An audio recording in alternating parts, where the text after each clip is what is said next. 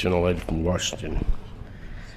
Mr. Speaker, I rise today to call on us to work together quickly. We have an opportunity to accelerate the nation's recovery, create jobs, and reduce our deficit, but only if we're willing to do it together and take a balanced approach. Failing to do so will hurt millions of families and create unnecessary uncertainty for small businesses.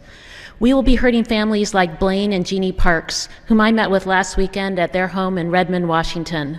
Blaine is a truck driver, and Jeannie works at an elementary school. Blaine also owns a small fishing guide company. They told me how worried they are about higher taxes and cuts to programs they count on, like our schools. They work hard, pay their fair share, and for them, a tax hike would make it harder for them to make ends meet. It would hurt Blaine's business and prevent them from taking care of basic things like simple repairs to their home. I hope that the next time I see the Parks family, I'll be able to say that Congress came together, saved them from a tax hike, and got our economy back on track. I yield back.